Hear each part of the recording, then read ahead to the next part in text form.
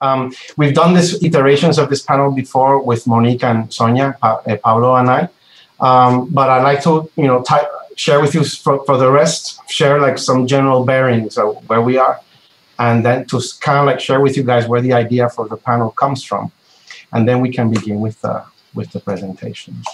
Um, so yeah, thanks for coming, super, especially so early in the morning. I'm Carlos. I am the co-convener of this panel along with Pablo Herrera.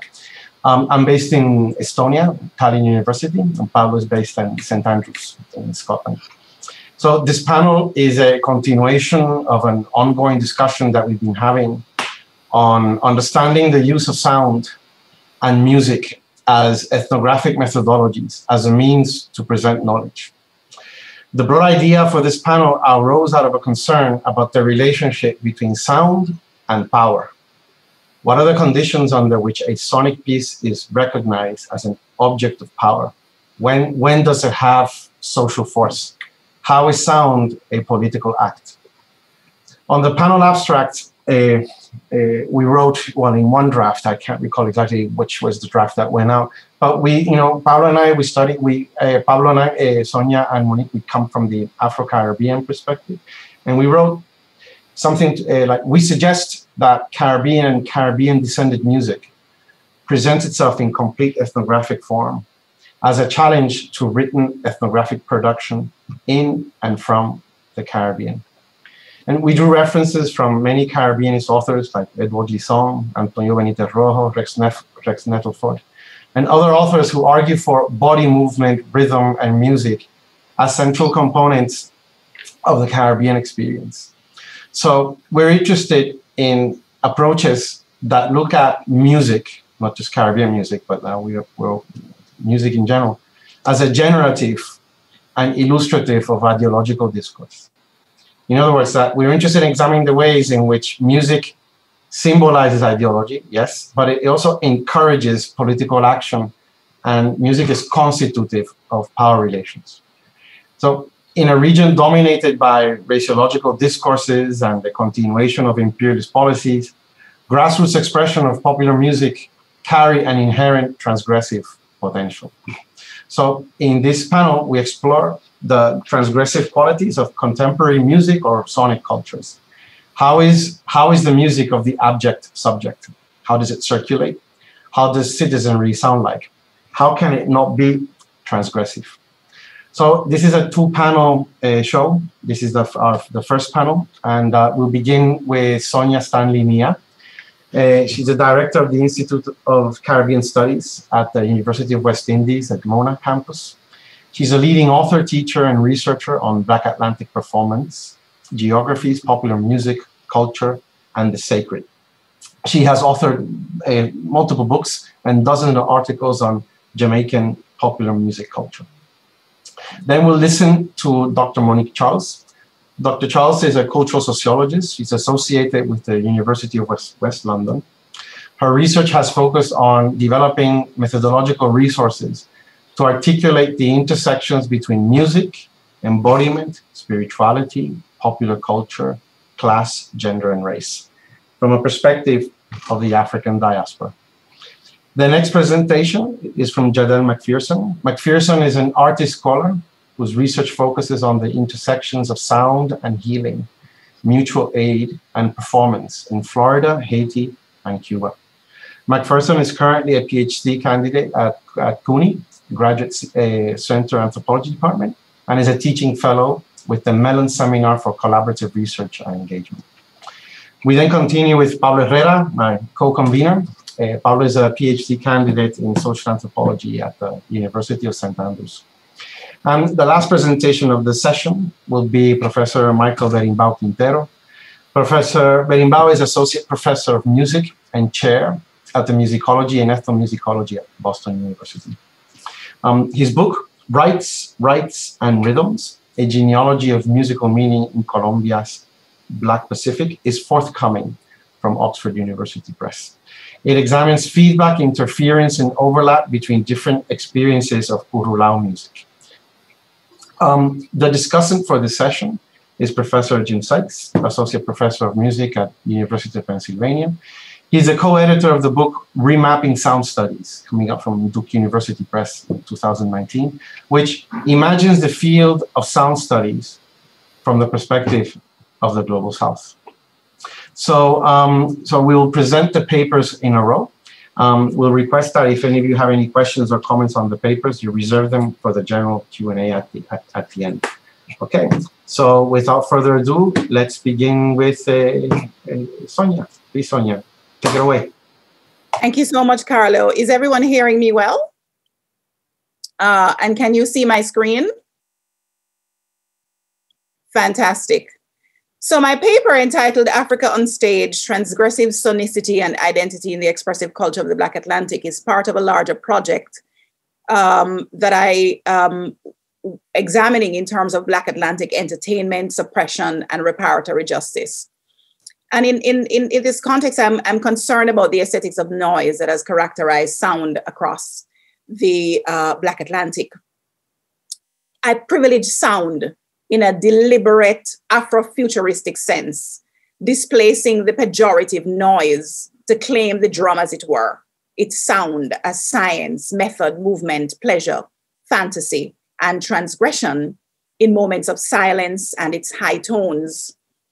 Um, the work in it in its broader context, I am trying to do some things in this paper, define diaspora, examine the sound system, redefine noise, um, in a context of reinstating sound, examining sound and the politics of citizenship, sounding and grounding. Those are some of the, the headings in, in the context of this larger paper. Clearly, I won't be able to um, go through all of them.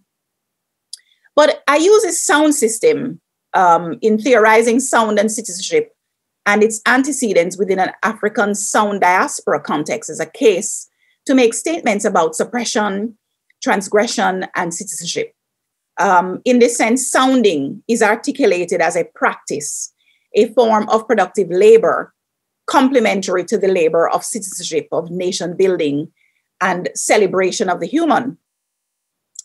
And, and, and I, I, I want to just be able to, to point out that Africa lives in its diaspora through melanated peoples, their sounds and uh, performance practices.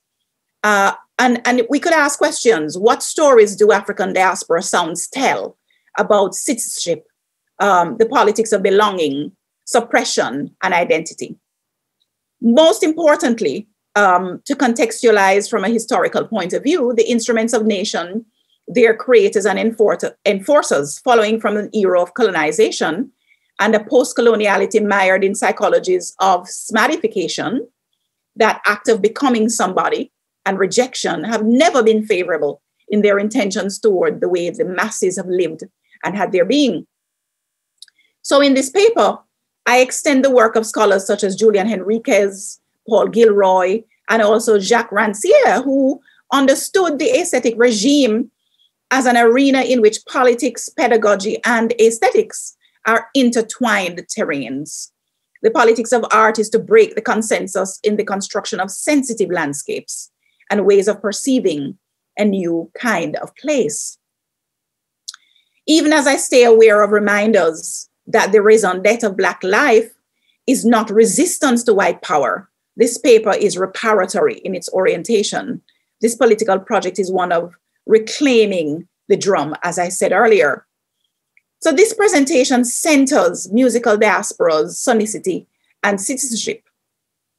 And I want to just enter the dance hall with um, one of the, the, the, the, invocations from artist Anthony B, who, who in, his, in his lyrics tells us of the way in which reggae, music such as reggae, have had to struggle to become themselves. So, you know, many of us are appreciating reggae on an international landscape. But of course, there were trials and tribulations, um, you know, um, acts of suppression legislative instruments that went into the way in which reggae has, in fact, become a world music. But let me go back to the sound system as the voice of the people of Jamaica. In fact, the sound system as the instrument, the national instrument of Jamaica, which originated in the mid 1940s, but more popularized in the 1950s and 1960s, Early sound systems were characterized by this, you know, uh, tower of speaker boxes, amplifiers stacked atop each other, with a t- turntable to reproduce and amplify music in a dance event, a dance hall event. The sound system is usually accompanied by a selector, so disc jockeys, box boys, soundmen, engineers.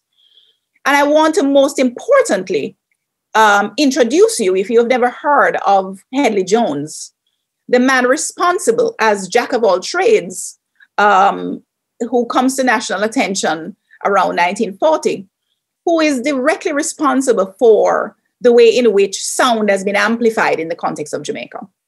And many of these engineering techniques, of course, um, moving beyond Jamaica into other spaces through the apparatus of the sound system. The sound system I constitute as a politics from below. In the early days, sound systems were originally used to present music to the large lower class masses that could not afford radio and certainly definitely could not afford to even go to events where live bands were performing and certainly were not able to hire live bands for um, events. Instrumental in the creation and production of original Jamaican music genres, we're talking about ska, rocksteady, reggae, dancehall, dub, and so on. The sound system is an innovation of the lower class, and we must um, you know, centralize that point that these innovations do not typically come from the upper classes. They come from the, the, the lower class, the lower middle class. Um, in amplifying the voices, their concerns, their issues, and ideologies um, um, into a public sphere. Sound systems are largely identified with lower class performance practices. And we could talk about early sound systems, Tom the Great Sebastian, um, Duke Reid, Sir Coxsone Dodd's Downbeat, King, Ed- King, King Edward's Giant. Um, the um, Trojan sound system became the most popular. Um, and of course, by 1963, Sir Clement, um, Sir Coxsone Dodd commissioned Jones, Hedley Jones, to build the equipment for his Studio One recording studios in Kingston. Jones has been credited as Jamaica's most significant sound system um, electronics pioneer.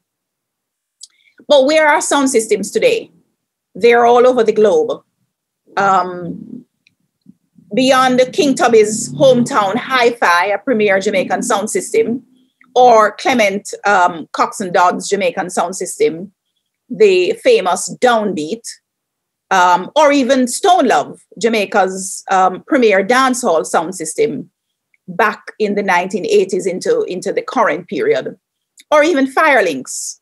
There are, in fact, sound systems all over the world, and some people count, um, certainly within the English speaking um, world that I have been able to, to, to map, over 300 um, major sound systems operating. That is a conservative um, figure. So you talk about um, Muamba Brazilian sound system in Sao, Sao Paulo, um, other sound systems, feminine hi-fi in, in, in Sao Paulo. India launched a sound system revolution, they call it, in 2016 through Bass Foundation Roots, um, dubbing it India's reggae resistance, very much in um, contestation of some of the, the oppressive ideas coming out of um, Narendra Modi's uh, Hindu nationalist government. Bass Foundation Root Sound System actually toured the entire country, trying to give voice to the oppressed through reggae music, Jamaica's eternal and unequivocal gift to the world. There are others Lion Pulse Sound System in, in Bristol, King Shiloh Sound System in Amsterdam, Steppers Record Sound System in Africa, many in Northern Africa, Tunisia, and so on. And of course, the sound system has manifested in events such as um, the, the Outlook Festival, a sound system festival in Croatia, happening annually. Um, and of course, I consider this to be the expression of the sound system in an outer national context. There have even been sound system clashes. Um, Red Bull has, through their Red Bull Culture Clash, uh, imprinted the sound system as an apparatus, as a, as a mode of performance in the context of an international sphere. They have had events in the UK, in South Africa, in Jamaica, and so on. But the politics of noise would have to be centralized in a context for understanding the history of suppression. So you can see from as early as 1688, prohibition on drums and horns. These are legislative instruments across the, the Black Atlantic. Um, in Jamaica, 1688, prohibition on drums and horns. By the time we get to 1760, irregular assemblies of slaves outlawed in Jamaica. Punishment of obeah, so spiritual um, and sound practices, very much interrelated, are being suppressed. Um, you can see in 1711, law banning communication by horns and drums in St. Kitts. Of course, when we get to 1825, um, those slave acts then, by 1883 in Trinidad, ban on kalinda bands, the obeah law in Jamaica in, in 1898. And of course, by the time we get to 1917, in Trinidad and Tobago, Shouter's Prohibition Ordinance, but most importantly, the Noise Abatement Act, which um, comes to us out of a colonial um, um, inheritance. In 1997, Jamaica instituted its own very its very own Noise Abatement Act. But what do I what do I what do I want to to to talk about in the context of all of this suppression is a way in which the very the very work of producing sound you know, pejoratively called noise, creative work um, is, is the productive labor of a certain class of people, and that labor has value. That citizenship is in, in the context of the, the value of, of work. Um, this value of sound and productive labor is, is, is very much caught up with the whole um, enterprise of citizenship. And of course, there are ways to quantify that productive labor that value of sound. Tom Fleming's business plan approximated that 6,000 to 12,000 persons were employed in the music industry of Jamaica. Some 2,500 being musicians and 1,700 employed by sound systems. So we are very much examining the fact that this productive labor, this, this value of sound, has a place in the gross domestic product, contributing some 5.2% in the context of the creative industries. Um, the value of sound is therefore um, very much um, commensurate with the, the, the, the work of citizenship in attempting to assess the economic impact of entertainment during the period 2012 to 2016, for example, using data from the Ministry of Culture, we were able to see that based on permits, issues, and extensions granted, the value, a total impact of 71.4 billion over the period, with some 20,221 events on average being granted permits annually, was reported. So um, these transnational music cultures from 19th century singers to hip hop, reggae, and rap in referencing ships, um, as in slave ships, sound systems, phonographs, vinyl, and other technologies um, that facilitate crossing very much feed into a longer historical trajectory of reading sound in the in the in the African diasporic um, context of articulations of identity. And so this paper, in its um, in its in its in its entire um, raison d'etre, is very much centralizing the sound system as one avenue through which to examine this longer trajectory of sound in a in a national well first of all in an inner city sort of local but national post-national transnational diasporic space and representation of identity. Um, and i argue that the sound system at the heart of this paper is a dream space a freedom space not bound by national boundaries bound to the inner cities um, it, it calls home but not bound by it. The sound system culture is tied to various musical genres, a specific volume, social movements, a certain space, profile, status, and much more. Um, and of course, the sound system tells stories of suppression. Um, a certain notoriety, in fact, characterizes the Jamaican sound. And arguably, Kingston is the loudest city in the Anglophone Caribbean, and Jamaica um, the loudest country on the planet. I want to leave it there. Thank you very much. That's that. Cheers. Thank you. Well, thank you very much, Sonia. Cheers. Fantastic. Okay, so we continue straight with uh, Monique Charles. Uh, Monique, you, uh, floor is yours. You can unmute yourself and take it away.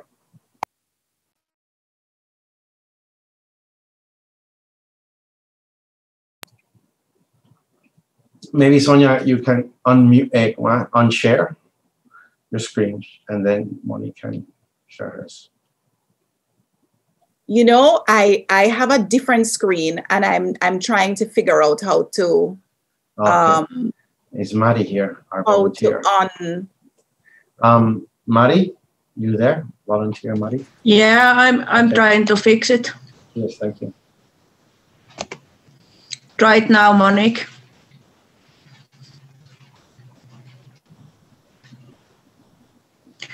uh, monique you are on mute Oh, there we go. I I've got it. Yeah. Okay, I've unmuted myself now as well. Is that okay? Yeah. Yeah, I'll just click the slideshow button, but okay, right. Um, so yes, I enjoyed that, Sonia. So thank you very much. Okay, so today I'm going to talk about my methodological framework um, that I have called, I have named Musicological Discourse Analysis, MDA for short, um, and how by using uh, this framework or this um, analytical method, you can come to locate what I have termed as a sonic footprint timestamp.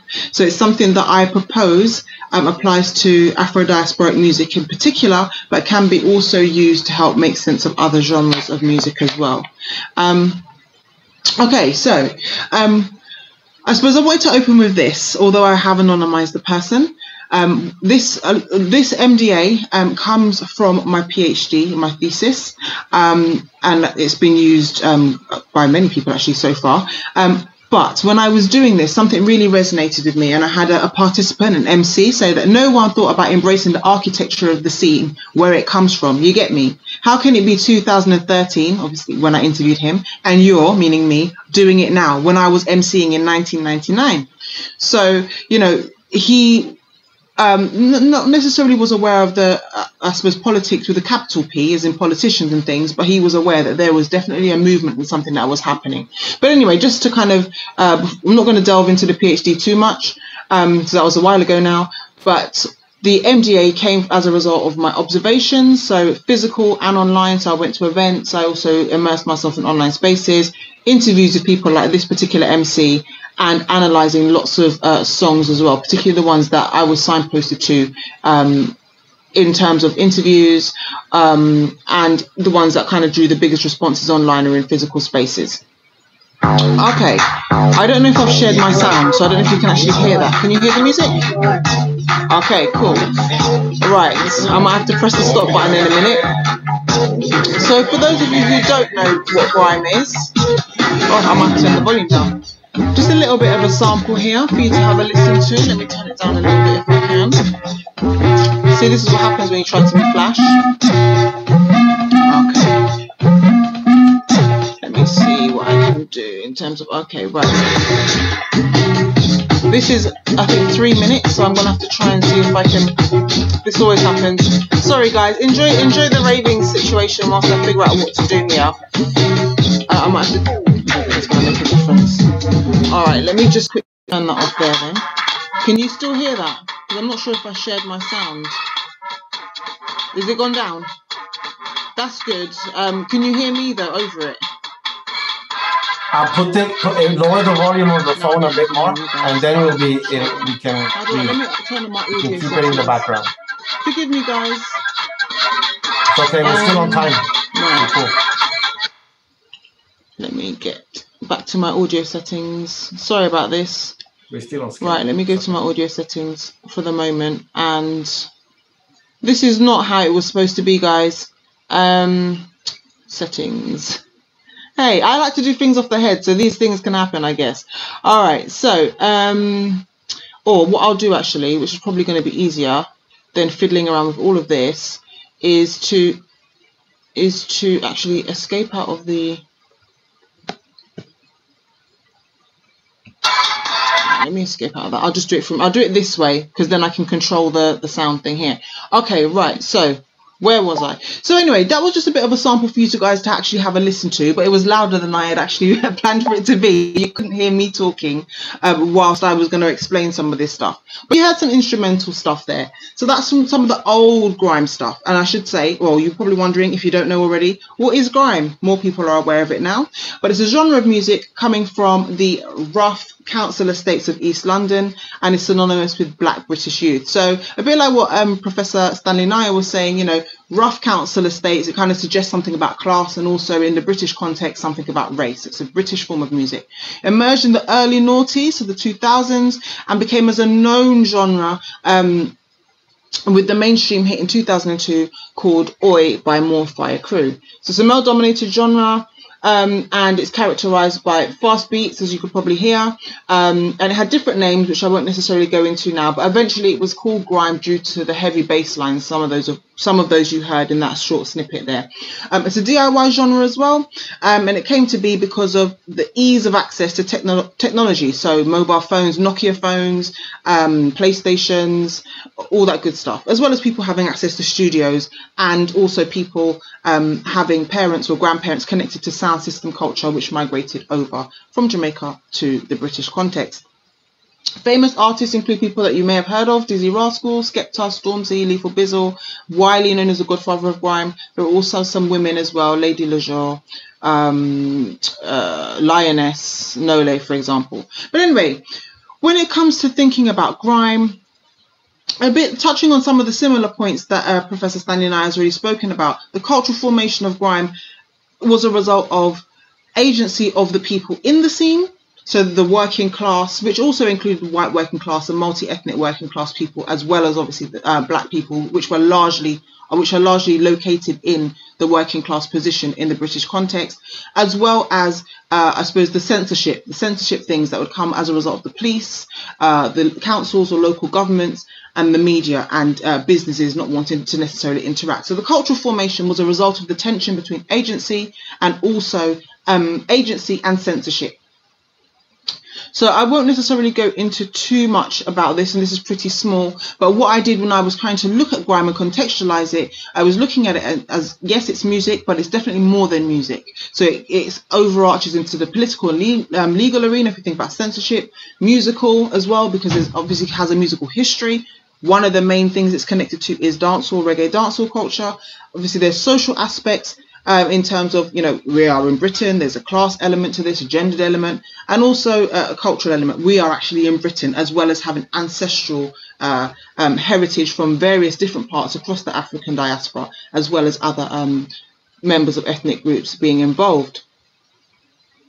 So, um, how did grime form culturally? Well, the, the research uh, showed that when it came to grime and how it formed, it formed around um, the idea of, um, or the values that were kind of central to grime are informality, being able to do it yourself, being able to kind of go off piste and do what it is that you want to do. And that is as a result of the agency, but also the censorship that was stopping um, you, you necessarily from accessing studios quite easily if you didn't already have familiar links, let's say. So you'd be able to uh, you'd be able to make things on your phone or make things on your PlayStation. Hard work as well, honing your craft in your own time. Not something that's on the, was on the curriculum. Popular music studies now is much more mainstream than it was in the early 2000s when young people were actively involved in music competitiveness, the competitiveness or the clashing, uh, that kind of element of refining your skills, earning your stripes, definitely is also connected to um, dancehall culture as well, and even some of the hip hop ciphering elements. So these are some of the themes that came through.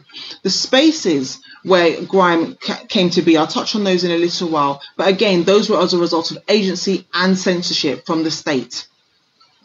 And when we think about, uh, I suppose, when we think about it more in a legal context, there was definitely things with regards to politicians overtly saying something about young uh, black and working class youth.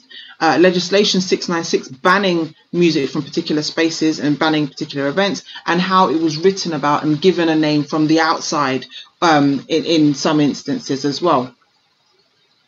So um, I suppose I've kind of touched on this already. So we think about informality, self-teaching, um, um, you making use of personal networks and um, accessing alternative spaces, making use of the spaces you already have. For example, the home is very central when it comes to music making in, in the, the grime DIY space, youth centres possibly as well, maybe record shops. These are spaces, well, I suppose I'm going to talk about spaces in a minute, but these were spaces that were uh, have cultural value and places where information and uh, information and knowledge were exchanged. It wasn't in a formal capacity of a school, let's say, but also these spaces are quite gendered. So certain types of knowledge and training would be passed through these spaces as well. Because if you think about in terms of gender, masculine or the male is considered to be more in the public domain, and the feminine or girls are usually confined, if you want to use that word, uh, to the private space, to the to, to the kind of home life. Um, uh, there was definitely an entrepreneurial element here as well. So you know, you were not necessarily going to get support by businesses to kind of help people for, for people to kind of invest in their craft. You would have to do it your own you know maybe work somewhere and earn your own money so you could funnel it into what it is that you wanted to do.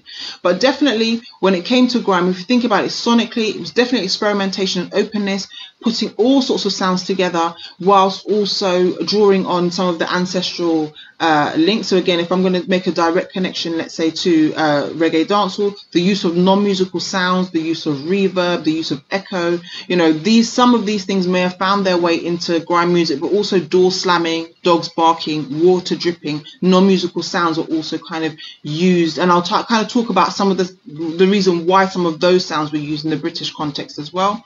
Um, so I've kind of outlined some of the values there already. Let's move on to the next slide. Um, okay, so spaces, I kind of touched on this already. Um, uh, uh, so grime circulated through the AG and S stages. AG and S is avant-garde and scene-based stages of a genre. A genre, well, mo- many genres don't necessarily make it a- across or tele- teleologically. They don't all grow to a final point of becoming a traditional genre. But uh, Professor Lena um, Jennifer Lena, she talks about different stages that genres go through. So avant-garde is very, very early on when a couple of people know about it. Scene-based is when it's still kind of underground, but it's got its own vibe before it gets into the industry and it becomes commercialized. So if I'm talking about the very early stages in the noughties where this was becoming a thing, building its own momentum, building its own kind of social movement, spaces were at home, pirate radio again, because you know, if we think about business, if we think about uh, mainstream spaces, they, you know, they were not making space for this new sound. When the, what you heard earlier, when it first came out, it was completely alien in many respects. It was something that had never been heard before, and I'll talk about the significance of those sonics as well um, in, in a little while. So yeah, community spaces. So in school playgrounds or in youth centres, record shops are touched on as well. People being what we would say as on road um, or you know in the street street culture but on road is like a british term where people would just be on, on, on the road spraying bars um, having their own clashes on, on the street eventually there was some kind of uh, low budget TV shows or TV um, channels once satellite or cable TV became a thing. So, you know, people had a bit more money, they could funnel and make their own low end uh, channels. Um, so people could use that do make home videos on a VCR, yes, VCR way back then, and, and you know film and make their own music videos. Online was very significant because in many respects, although it was a middle class thing to begin with, it did actually enable people to create things more easily and upload things and share things much more easily. Raving and nightlife was obviously a space, but the censorship was really um, in terms of loudness or, or noise, as it would have been seen by the mainstream, but also, um, yeah, so in terms of that, um, and in, also in terms of you know unde- undesirable people kind of gathering in spaces and concerns around that and conflating certain groups of people with crime and all sorts of things going on there. Censorship was really quite tight when it comes to physical spaces even though it was there was some censorship in um, on online spaces as well print as well magazines newspapers some more left leaning if you want to call them that left leaning papers may give one or two uh, bits of exposure to grime. It's a bit more common now um, but especially in the early days with the with print the ability to make your own kind of press your own blog your own magazine wasn't really a thing. Um, but you know they were slowly taking up space Um, but these people that uh, the early people that had um, access to kind of tangible spaces, if they did have somebody, you know, a dad or a family member that was involved in sound system culture and could actually get their hands on vinyl, could actually get access to the studio, these were the ones that eventually were positioned as the cultural pioneers of the grime scene. Um, I suppose you could say movement now. Now we're kind of looking back on it a bit reflectively. Yeah the virtual aspect of it, the online stuff was beneficial for fans. It enabled um, international exposure, especially as the internet came up alongside grime, enabled a wider um, a wider set of people to access it, whilst it was being clamped down on by the Metropolitan Police in the first instance. Okay, I'll quickly uh, move on to the next one. So some of the politics. Um, okay, so the way that grime develops, I've kind of, I suppose, I've touched on this with this tension between censorship and agency. Um, you know, it's influenced by the music streams and institutions and practices um, of, I suppose, its um, parent genres reggae dancehall being one of them. Electronic music, you could hear definitely hear some of the electronic and experimental music influences there. Um, hip hop as well, because that was instrumental, you wouldn't have heard them spraying bars as as as it's known. Um, uh, and obviously the spaces in which the values and the spaces in which this circulated obviously also contributed to this.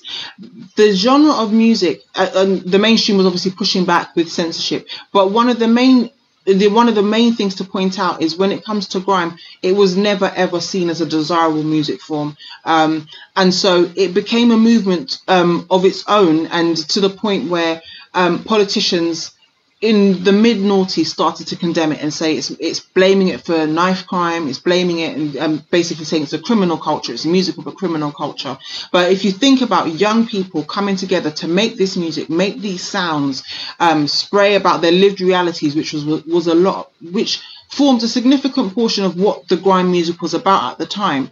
Um, you know, it managed to get onto the radar of politicians. Um, so there was definitely a real buzz and a real movement happening so um, I suppose I've kind of touched on some of these things. So we've got internal and external factors, the agency, the censorship. Um, with the internet, we have rapid expansion of grime outside the UK. So we've got Canadian grime, Japanese, um, parts of Eastern Europe, uh, Netherlands, East Coast um, USA and California, um, even Australia. There's lots of different spaces um, where it has um, kind of expanded to. There are some grime nights as well, well there were some grime nights, um, but they ended up having to be instrumental. And there's also something about the person speaking, wanting the sounds, but not the, the, the voice or the person connected to the voice that might be speaking, um, which was interesting. and that's related to a Form 696, which was kind of really used to kind of clamp down on, on events.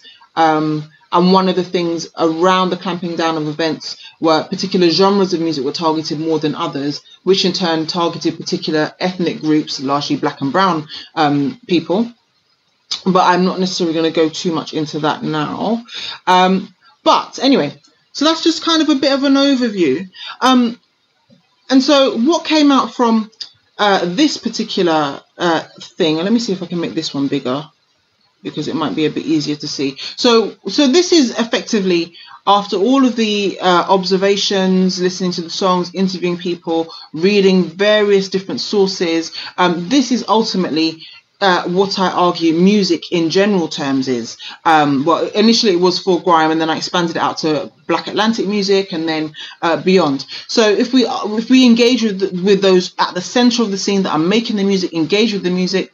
Um, see how people you know physically engage with the music what they have to share about the music we have to consider the the context. So if you remember, I had the, a, like a four Venn diagram of all the diff- some of the different things to consider. We can begin to see music is never in isolation. It's it, it's sound. It's uh, music is social as well as sound or sonic. And uh, it becomes music because people organize it according to their cultural um, or their their cultural sensibilities, their sonic sensibilities, what makes sense to them. And some of the things that make sonic sense to them are the things that they listen to growing up um, some of the things that come, you know, from their parents or grandparents, which may have, um, who may have, may or may not have migrated. Music migrates with people as well. Um, also, the soundscape. Um, where do you live? Um, are you somewhere that where there's lots of noise? Are you somewhere where there's um, slow sounds, fast sounds? Are you somewhere where there's lots of layered sounds? So we think about grime, grime's got lots of layered sounds. If we think about high-rise council estates, for example, there's lots of uh, lo-fi sounds, not necessarily in clear focus.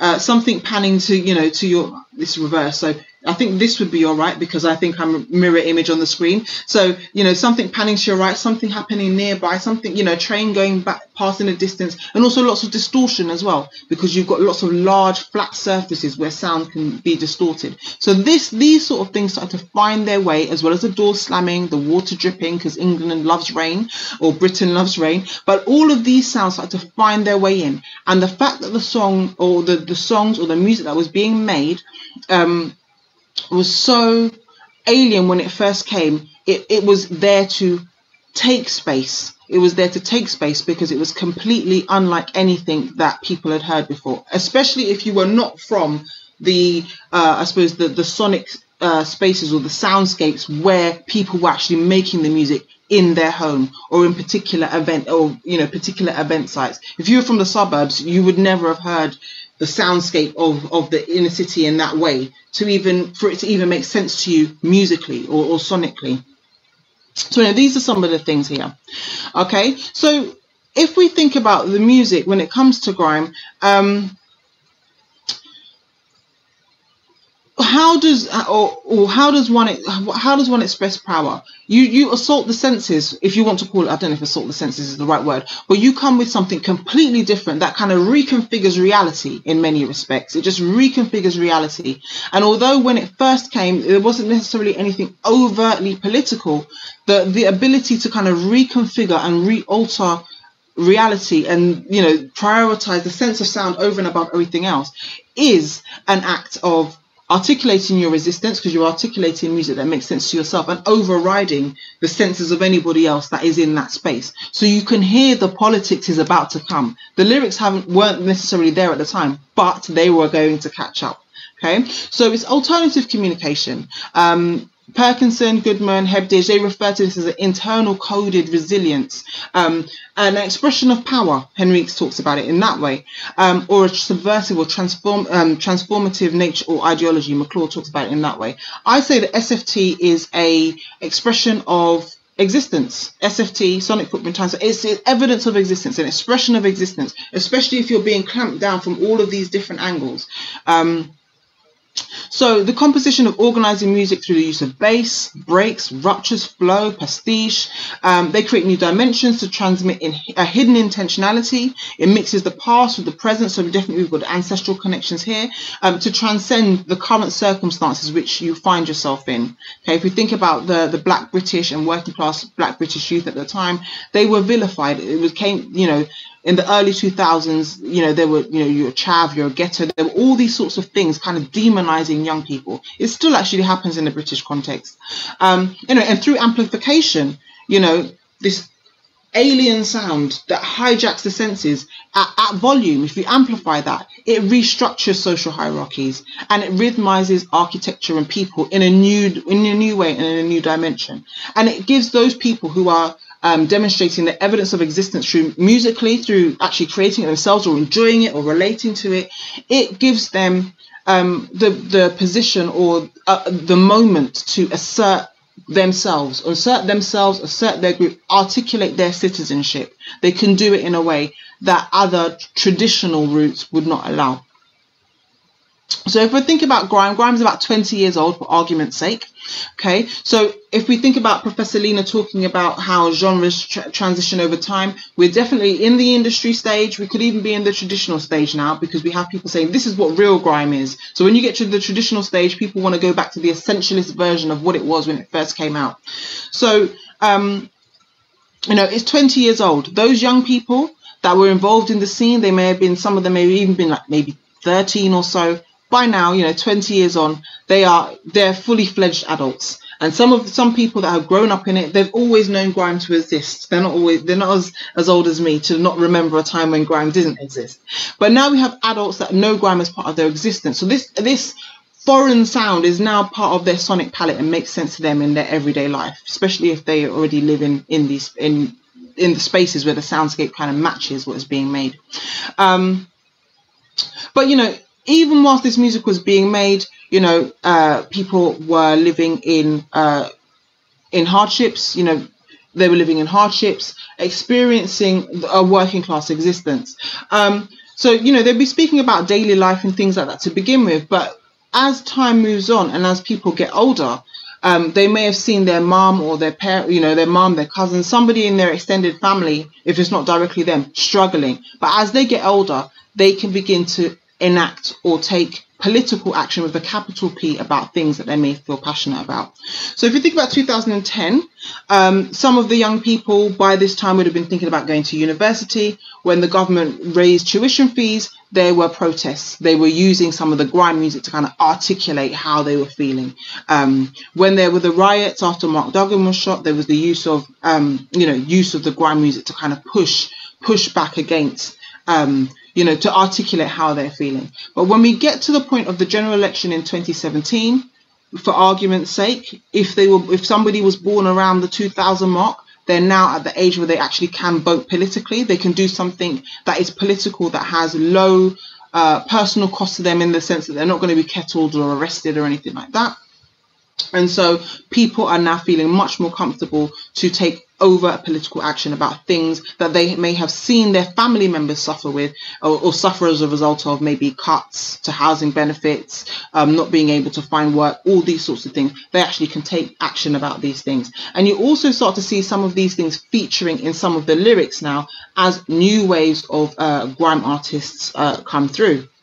So over the 20 years, um, there was an increasing self-awareness amongst the late millennials and early Zoomers about their political power through the new, and I say new in, in, in inverted commas because Black British music has been around, uh, well, since the Windrush, um, even before, if you want to be technical, but since the Windrush, since people migrated to Britain in larger numbers since 1948, you know, there always has been a Black British music scene, even though it's been underground. Um, um, so it's always been political with small p, starting with the sound, you know, hijacking the senses. But over time, as people have grown and, you know, people be, feel comfortable to articulate their lived realities, um, they feel that they're able to now challenge and tackle, uh, you know, the isms, the classisms, the racisms, the sexisms, all that, the, uh, critique the politicians themselves as well. Um, let's see what else. Um, Okay. Also, because because of the especially with the global recession, middle class people started to feel a bit of the pinch. The um, 2008 when the recession happened, so it was cool at the time. So you got the middle classes feeling the squeeze. The youth they're also kind of um, leaning in towards the uh, leaning in towards grime. Um, and in doing so, I suppose that kind of helped it to kind of mainstream a bit more because around the the late noughties it did mainstream. Um, and we find that um, it became a vehicle for working class people to talk about their lived realities and middle class people to begin to kind of also kind of use it as a vehicle to kind of articulate their realities as well. Um, let me see if there's anything else here. Okay i'll just i'll start to wrap it up because i know that i i can keep going. Um, so yeah so if we think about um, newer black artists that come through um, such as dave some down here you know they're talking about the political the, or um, they're talking about political decisions or what the things that the decisions that um, politicians are making, um, the impact that political decisions have had on their family. So Dave has got a song called Question Time, talking about his mum as an um, NHS nurse struggling, um, talking about the war in Syria and why is the British government involved. So they start to kind of ask questions about what is the government doing overseas what is the government doing to our communities um, and many of many of the artists are still very much engaged or connected to the working class spaces that they originally came from or even those that have come up you know as, as a new wave of grime emerges have also come up from these spaces and are very much connected to these spaces as well. Um, and if uh, famous examples, for example, are Stormzy, um, who has um, he critiqued Theresa May at the Brit Awards in 2019, and um, you know in Glastonbury as well. He you know he was uh, overtly supporting um, Jeremy Corbyn as well. So the the kind of I suppose the lyrical element of the ideo- I, over ideological element of the politics um, has arrived. But it definitely, the Sonics were letting you know that something new was about, something new was coming, something new was coming. Um, and so yeah, at the moment we're at a stage where um, people are comfortable to kind of voice political concerns, um, but strategic organizing is still in its infancy. People haven't quite figured out how to convert online presence, uh, you know, into on the ground um, strategic organizations. There have been kind of um, F Boris parties and things like that. If you think about the last general election, um, but beyond gathering to protest about a particular thing, there haven't been um, sustained or strategic organizations in an overtly political sense. So I think I'll leave it there. So thank you. Awesome. Thank you, Mr. Dudekla. Great. Lovely.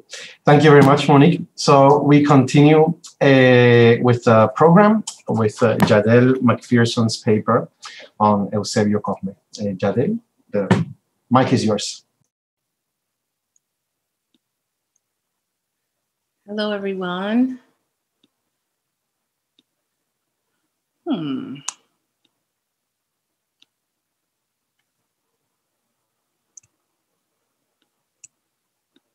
just so you know, we're okay for time still. So don't don't, reason, don't panic too much. We're we're okay. okay. for some reason, I was having trouble sharing the sound, but um, this should this should work. Hopefully, bear with me here.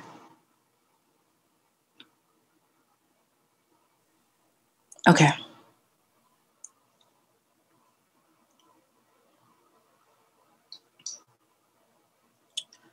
Let's see. There we go. So can you all see my slides?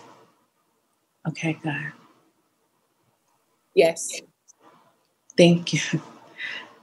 With the tongue, I start with this idea. With the tongue, one can give ashe, one can consider things, one can proclaim virtue, praise works and means, and with a tongue, one can also elevate human beings. So I'm going to open with a little invocation. Bara, bara, lo yure so boda. Bara, bara, lo yure so boda. Echorolo dio monya la guana con mama kenya irawo baba eke. Baba o bara o bara o bara suayo. Eke chodara. Echorolo dio monya la guana con mama kenya irawo. Baba eke barasuayo omonyala wana komama kenya irawoe eh. barasuwayo omonyala wana komama kenya irawoe eh. baba oh, obara obarasuwayo oh, eke eh, eshodara omonyala wana komama Kenya irawo e. Baba ago ago ashureo Ago, ago, achureo. Bara laiki ago, baba, ago, achureo. Bara suayo, mama Kenya, hecho dará Kenya irawo. Bara suayo, mama Kenya. Hecho dará Kenya irao para suayo mama Kenya hecho dará Kenya irao para suayo mama mama Kenya hecho dará Kenya irao es Yoruba My godmother, Naivi Angarica, one of the most knowledgeable and sought after ritual singers in Havana, chastised me. She wanted me to listen carefully to the pronunciation of the words as Yoruba musically hide sounds that we don't use in colloquial English nor Spanish. Naivi grew up hearing and singing these words in her family when she was born in Havana, in Pogolotti, a neighborhood in Marianao known as La Pequeña Africa, Little Africa, where she still lives. Pogolotti is home to generations of Afro Cuban musical virtuosos from timba, song, rumba, yoruba to abakwa, as well as a historic field site for anthropological studies of Afro Cuban religions. Naivi's family branch of Haitian descent lives this legacy as their last name carries the weight of a renowned family at the forefront of Afro Cuban religion and performance. Sound connects many of the intimate moments that Naivi and I have shared over the years while moving to and from gigs, sharing meals, or sitting on the porch in front of her family home. My training as an akpong or Orisha, or ritual singer comes alive in motion as singing puts cosmology into action. Orisha songs must be sung in time with clave and the drum, the bata. Dia, itotele, and okonkolo, the mother, follower, and the child. The songs are oral histories that also invoke social memory through their references to the lives of the Orishas. Yoruba becomes woven into the daily fabrics of the quotidian as daily intervention on the difficulties of Black social and political life. Given my training as one of few women akpones working currently in New York City, I start here in Ritual to move towards social and political performance histories, in part to demonstrate their connection and fluidity in Afro Caribbean and their diaspora contexts. I argue that the histories of Afro Latin mutual aid societies are connected through social actors who have been marginal in archival histories about the Cuban diaspora, and that women, both artists and spiritual practitioners, forged diasporic spaces that attended to the politics of their home and African diaspora communities. Therefore, I begin by positioning the ritual singer alongside these social actors who embody what literary scholar Antonio Lopez called, quote, Afro Cuban American vocality. This idea of vocality is a fruitful lens to begin to ethnographically study and center Black Cuban women's creativity in sacred transnational mutual aid networks. These diasporic spiritual and cultural performances also articulated gendered and racial politics through performance.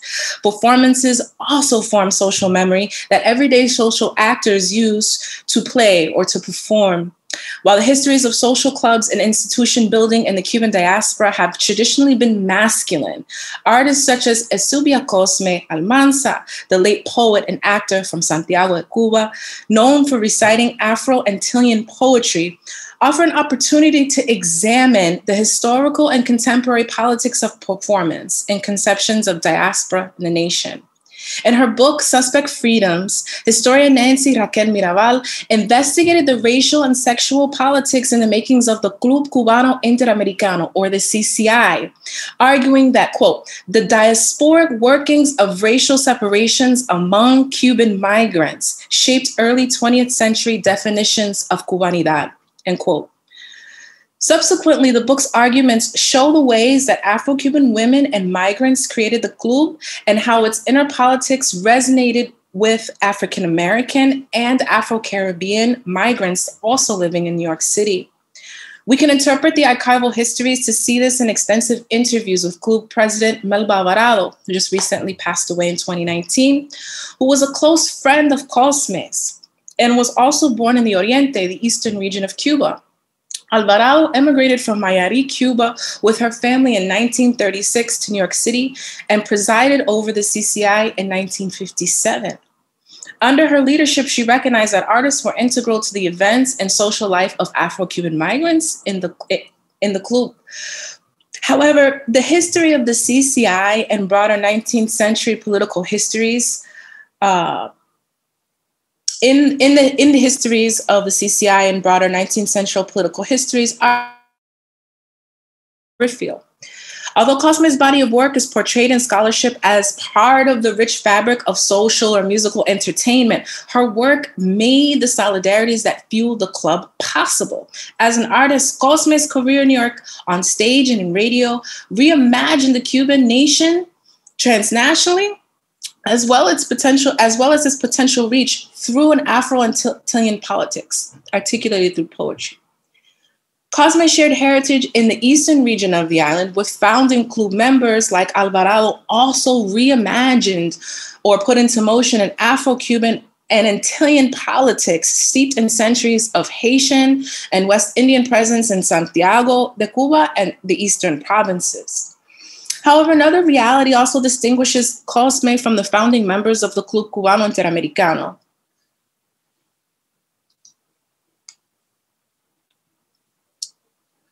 which included good friends of Cosme's who were intellectuals and professionals of color. Cosme was a Black Cuban who traversed the racially segregated Cuban social spheres, including the, ra- the racial separate clubs in the US. Her life's work and trajectory opened several questions. What are the Afro Latina performance histories of New York and Tampa, and how did Afro Cuban women artists and migrants contribute to them? What role has sound and live performance played in the racial and gender politics of the Cuban diaspora? And how might they shift our current discourses about the Cuban exile communities in the United States? And lastly, after about 100 years of history, what do Afro Cuban American mutual aid practices, birthed in Key West, Tampa, and New York City, look like today? Eusebia Cosme y Almanza was born into a Black working class family in Santiago de Cuba between 1908 and 1911. Her parents, Germán Cosme y Leocaldi Almanza, earned their living working at the Marcané family estate, a white aristocratic family known for its patriarch, Luis Fernando Marcané, who was a prominent legal scholar and writer in Cuba, who was also elected to the Cuban Senate during the early 1930s. Tragically, Herman and Leocaldia Cosme both died before fully raising their daughter, and their loss must have been difficult for her and their families. A mixture of Catholic local devotions to the Virgin of Charity, Congolese and Espiritismo practices were common when Cosme's parents, um, Leocaldia Almanza and Herman Cosme, grew up in the region. The Cosme family also has an understudied history in the town of El Cobre, right outside of Santiago de Cuba, where royal slaves used manumission, coartación, to free their enslaved family members since the 16th century. Like many soldiers who fought in the Revolutionary Wars, Herman Cosme may have carried the image of the Virgin of Charity with him as he served in the Mambis, in the Mambi army in the Ten Years' War in 1895. And Eusebia Cosme may have also heard her father reference the cigar factory workers in Key West and Tampa before she moved to New York City in 1938, where she quickly rose as a member of the transnational Cuban community. The story of Afro Cuban mutual aid clubs in the US begins in Ybor City, Tampa, parallel to Cosme's parents' lives. After the, after the Círculo Cubano in Ybor City was forced to segregate its initial multiracial membership due to racial segregation laws in the South, two sects of Black cigar factory groups formed into La Sociedad La Unión Martí Maceo in 1908. These migrations to work in the cigar industry in Key West and Tampa afforded Afro Cubans more economic stability than on the island, as well as a space to push for racial equality within the larger nationalist politics of the struggle for sovereign nation free of Spanish colonialism. Therefore, the founders named the club after the Cuban revolutionary heroes and orators Jose Marti and Antonio, Antonio Maceo. Marti's speeches in Tampa cigar factories were also political performances which encouraged Cubans to embrace the ideal of racial fraternity in order to challenge Spanish colonialism and the formation of a new sovereign nation. Paulina Pedroso was an activist who used her home in Ybor City to support the revolutionary efforts from 1892 to 1896. She and her husband, Ruperto Pedroso, housed Jose Marti in a boarding house after he was poisoned during one of his trips to Tampa. Marti had built relationships with many Cubans of color about three years prior to working with the Pedrosos, including Juan and Jeronimo Bonilla from Key West, and Rafael and Gertrudis Serra from Matanzas, who arrived to New York in 1882. They all became very active in La Liga, a Cuban and Puerto Rican revolutionary club formed in New York in 1891. La Liga sponsored many weekly events where artists performed, and they would also frequently collaborate with African American and Puerto Rican artists. Afro Cubans influenced Marti's theories of racial fraternity while they also participated in the revolutionary movements by using their collective salaries um, to fund the Mambi army in, in Cuba. In More Than Black, Afro Cubans in Tampa, anthropologist Susan Greenbaum studied Jim Crow's impact socially and politically on Cuban and Bahamian immigrants who made up a significant percentage of the cigar industry workforce during the economic boom of the late 19th century.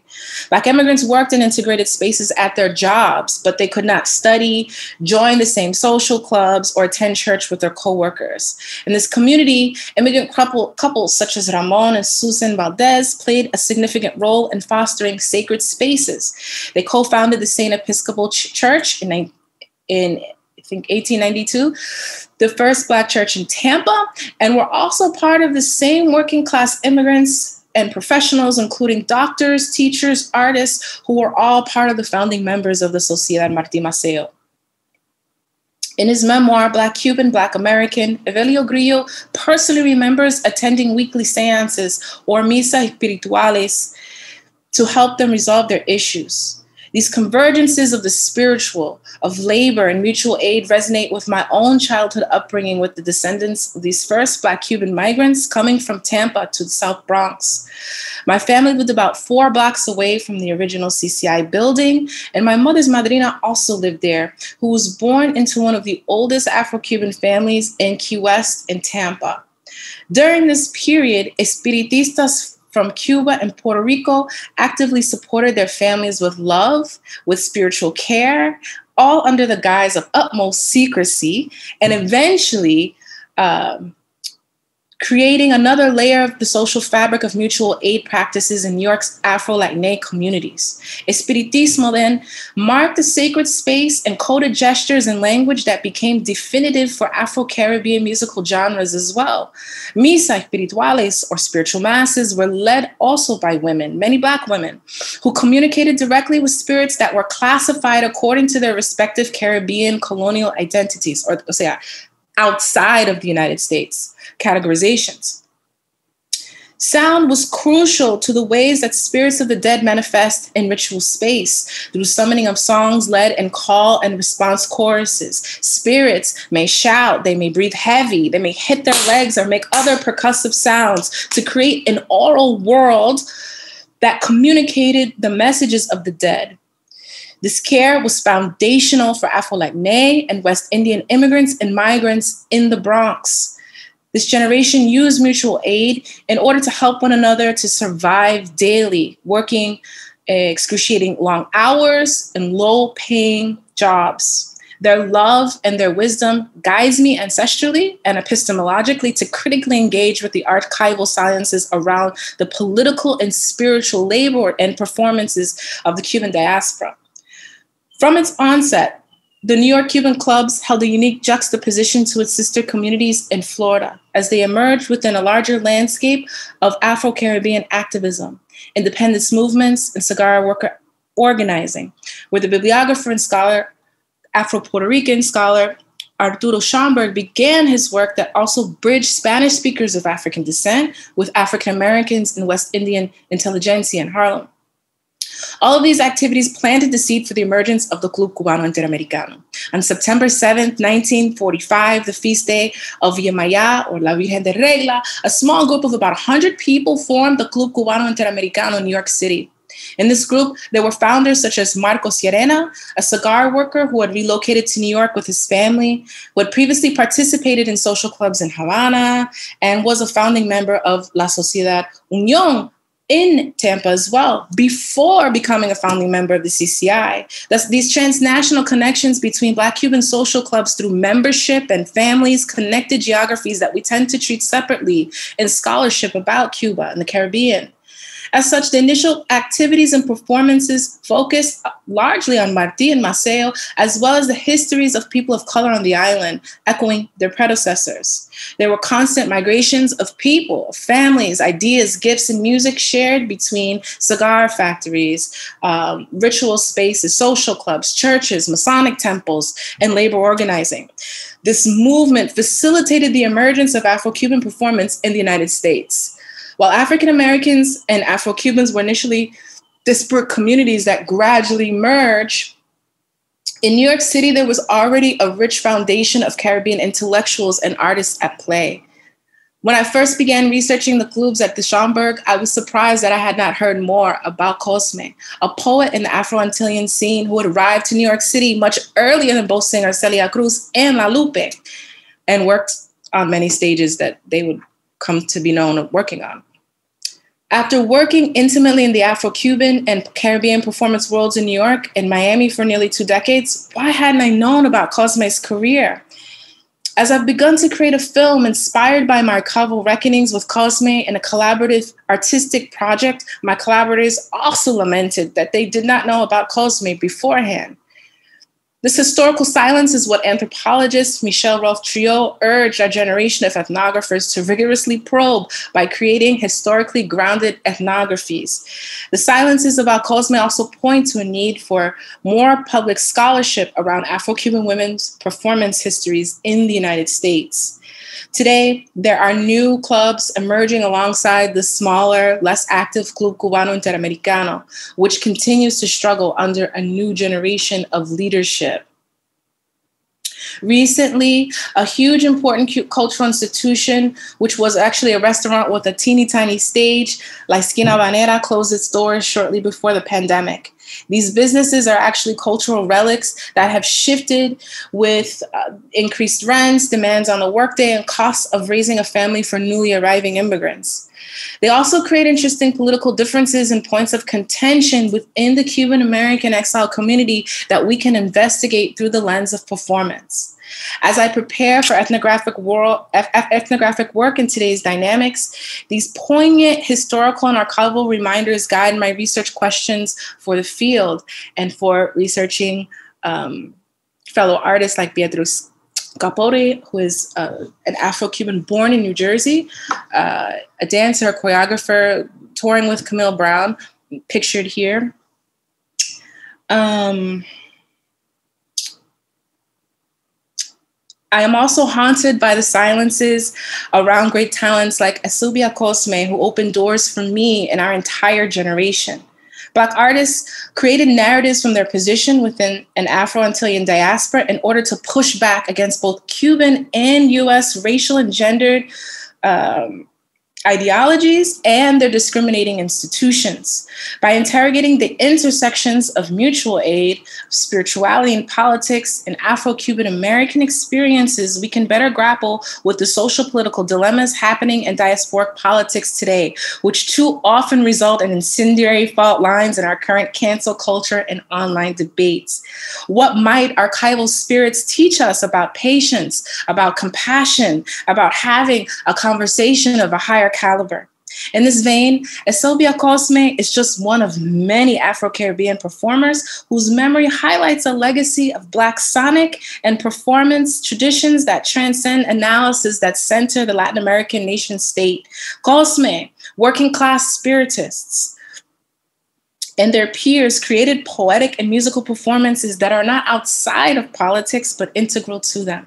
As Eusebia Cosme's repertoire on stage and on the radio in New York City during the 1940s and 50s also reframes the conversations about Afro Latin erasure from popular film, media, and television today. These ancestral voices speak through the archive as well as through our embodied practices and experiences. It is only up to us to hear them. Thank you. Amazing. Cheers, Jadele. Wow. Very, very inspiring. Very inspiring. Beautiful. Beautiful. Thank you. Thank you. Um, okay, so we move on with the last presentation of the of the panel. Um, Pablo Herrera. Pablo, uh, Zoom is yours.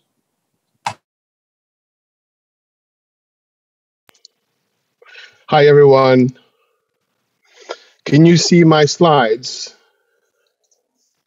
You can see my slides. Okay, so basically, the, what I will try to do today is I would try to have a presentation of some of these these ideas and see if I if I can go through them. I realized that the, what I wrote and presented for and prepared for today is a little bit longer, but I would try to sort of go through them as quickly as possible. So uh, this is basically my it's a revisiting. It's basically me revisiting what I presented last year at, at ASA. Uh, and then I think I've actually added some more ideas to sort of see if we can just it, hopefully this panel will help me think again about you know what's happening here and some ideas. So the beginning is that this is an this is basically an intervention on um, you know issues of how hip hop has dealt with you know coloniality in in our hemisphere, and particularly my concerns about you know uh, understanding and after a reading of David Scott his idea of you know how anti-colonial utopias have uh, gradually withered into post-colonial nightmares uh, he, there is basically gives us a reference to what was happening in Jamaica, but then in reading him and looking at Cuba, I started to consider these ideas and how they may be, you know, uh, salient in understanding what was happening with Cuba after uh, the crisis of the special period in, in, in the 1990s. And again, I looked at the work of Tanya Saunders specifically to understand also how Cuba was also part of this sort of transnational axis of um, uh, a a fight against coloniality in the Caribbean, in the in the hemisphere. The next thing will be an intervention in in understanding how hip hop sort of comes together with um, with this analysis or theorization of of uh, uh of of what happens within hip hop through an Afro Afro diasporic logic, specifically the work of of uh, uh, uh, Beliso de Jesus Palmier and Mike Ralph come, be, become quite relevant here in how they theorize how to, how to how the rebel spirit of Tupac as it appeared in a, as a hologram in Coachella a few years ago uh, continues to fight against systemic oppression. And then um, I try to do this in what I will present now. I try to do it as a as, a, as basically as an introduction or a presentation of a Black or Afro-Cuban methodology uh, uh, which actually, as, as Katherine McKittrick says, a, a, Black Methodist precise, detailed, coded, long, and forever. Uh, it's also a, a, methodological work of sharing ideas in an unkind world and world, and I found that super, super beautiful for her to say that. Following of that, uh, that I say also that you know, following McKittrick, also I say that my my use of a black methodology and method making um, are also academic and extra academic, and they offer rebellious and disobedient and promising ways of undoing discipline. So this is basically, in, the, in a sense, my continuing approach to challenge how to do ethnographic work uh, from an African perspective and, and from a Caribbean perspective, especially as someone whose work was down so much. So what so my introduction here then goes to understand how sound itself and, and, hearing as a sense, as a human virtue, is understood within the corpus of Ifa literature, right? So when I spoke to a few Babalaos about it, the first thing that my godfather, as you see here, Joel Lopez said to me is that the first thing I should think about is how Ori, that you know every human every human being's personal deity uh, or a, a, human's self is constituted by five percent uh, by five perceptions uh, perception senses, amongst other attributes, and then from there we can start thinking about um, um, uh, as uh, uh, about other senses such as sound. And then he said that that um, you know in, it is the oracular figure of uh, Iroso Batrupo, which explains the birth of uh, uh, the human sense of hearing. And, and he said, when I w- went to the corpus of Ifa and I read the Dice Ifa, it says, a Yoruba mythical character named Awo Alara received the sense of hearing from Olorun, the sun. This capacity allowed Awo Alara to favorably work out everything he did because of his ancestors and deities would sometimes speak in his ears. Because he followed their advice, Alara was considered a good son and granted moral wealth. And this this particular paradigm of, of being granted moral wealth is so, some, something that I kind of aim to address and, and want to argue through this presentation. It's like how what happened later uh, uh, or what has been happening since the beginning you could say, the beginning of the, en- the you know the entry of Afro-Cubans into or blacks into the space of Cuba, there's been this issue of a historical now listening by the governments, by the power uh, of the island.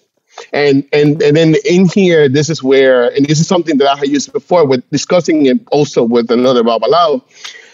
I think that the paradigm or the issue of not listening was symbolic about Okanasode here is the fact that Okanasode explains how and, and or when was the moment that the human virtue of listening was born in an operative way, right? Um, I think that the main the main description here is how Okana Sote was told to do a specific thing, a, a, specific thing, and then he decided not to not to listen. I want to show you the first example of sound of how my my godfather basically explained what what happened in Okana Sote. This is my first example of sound. Eh, para una persona X. Sí. Entonces el oído ya funciona cuando un babalao recita un orden de fa. Oíste, de, lo, de que tú eres la boca, el oído escucha. Claro. Eso es lo que habla a la suerte de la persona que escuchó hacer el sacrificio, pero lo escuchó, no se quedó sin oírlo. Claro. Entonces, por ciertas razones, él decidió eh, no hacer lo que le dijo el sacerdote que hiciera. Exactamente. Es decir, entró por un oído, salió por el otro. Por el otro, lo que hizo la suerte. Usted no oye consejo. Ashe. So, so here in this this this sort of idea that the person does not listen to advice, I kind of I kind of wanted to play with the symbolism of, of the idea that's behind Okanasote to consider how um, the Cuban state uh, or the Cuban government since colonial times until now has failed to listen to the claims and the demands of Afro Cubans in terms of social inclusion, in terms of racial equality, right? And how then this becomes an issue that's portrayed in the music. Um, but what's really interesting here is that when I asked them in terms of you know considering the idea of protest, which is kind of the main topic in, in my presentation and and part of the of, of this panel. I, he said, "Well, I kind of need to think about a particular figure that, that that tells me about about about protest." But I think, and I was kind of amazed by the fact that he mentioned Aponte as someone who I should think about, as rather than rather than an Odu itself, a historical or mythical figure within African history, who basically for the first time, or is basically uh, it's the symbol of the beginning of our of our of our um, protest uh, for racial racial inclusion. And um, uh, for those who don't know, Aponte, Aponte, and I'm reading here a note from Afro Cuba Web. Uh, written by Eugene Godfried in 2006, is Aponte, an African man um, of a, a, man of African descent. He led struggles in Havana known as the Conspiracy of 1812. Jose Antonio Aponte y Ubarra, an autodidact, an autodidact was uh, loved and cherished by the people of African descent, both those enslaved and those who were free. He belonged to the Cabildo Shango Tedun, which I, I think implies that he was of Yoruba descent himself. He sympathized with the achievements of the Haitian Revolution as a model of the revolution which was successful. Yet, to the contrary of to the contrary of all the simplistic accusations by the dominant slave owner elite, he never pretended to convert Cuba into a second Haiti. But he was absolutely convinced that his country also needed fundamental changes in favor of the liberation of the oppressed and enslaved sectors. So the point here that I'm trying to see today is how this issue of the protests and is something that's been happening symbolically through history in, in, in the context of Cuba. And then my next example, uh, my, uh, it's basically, uh, uh yeah, wait, wait, wait, like, wait, yeah, here. So then, again, going back to IFA, the IFA corpus, I spoke to another Baba, another Babalao, Alberto Murdoch, and he said, actually, and this is interesting because I was actually in the middle of preparing the, the, the, this presentation, and he said, if you're thinking about protest, you should think about Ofunmeyi and what it says, uh, it, particularly what it, in the sense of what it means to protest. And I was like, well, when I looked in, when I looked at Ofunmeyi and the Dice Ifa, it said, through this oracular figure, Ifa seems to symbolically describe what it means to protest. In this figure, Ifa explains the birth of a person's capacity to defend themselves against attacks. Ofunmeyi defines the birth of the human word and the human voice. The encyclopedic treatise also says that those who own it, own, own it, meaning those who are under the influence of, of this Odu of Ifa, this, uh, who are under the influence or radiation of this oracular figure, have the power to speak. So my question then would be, could we conclude that Ofunmeyi symbolizes the essence of verbal protests? And I think I, I think that I say this to then start bringing all these other examples of sound, and in particular, uh, you know, moments through through our history where Afro-Cuban leaders, Afro-Cuban men, have been discussing this issue of racial inclusion in Cuba, and how then this is echoed through the history of Cuban uh, or Afro-Cuban urban music. I think it's really, really interesting. I found I found a, a very interesting uh, uh, uh recording of Universidad del Aire, where um, at the UCLA archives, um, uh, of a speech by Juan René Betancourt, um, uh, actually in 1959 was the president of the Cuban Federation of Negro Societies. And obviously these Negro societies are the same kind of societies that Jadele was talking about earlier, right? Uh, but they had the re- representation within Cuba. There's at least six different organizations of this kind, mutual aid societies uh, within, within Cuba. So this is what, what, what said. El ejemplo lo tenemos a la vista.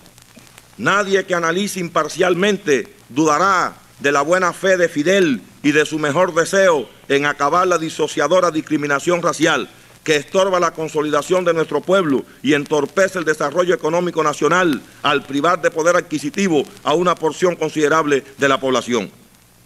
No obstante, a ningún observador honesto se le escapará que el negro ha sido excluido, hoy más aún que en ocasiones anteriores de la administración pública.